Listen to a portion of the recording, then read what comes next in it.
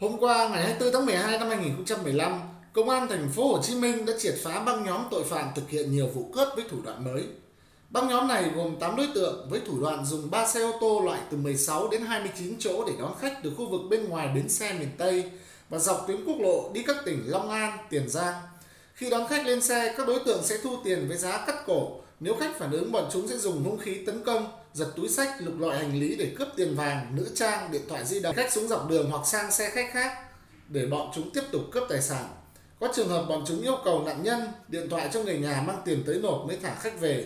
Bước đầu các đối tượng khai nhận đã thực hiện chót lọt 11 vụ cướp tài sản công dân với giá trị tài sản hàng chục triệu đồng. Hiện vụ việc đang được công an thành phố Hồ Chí Minh tiếp tục mở rộng điều tra.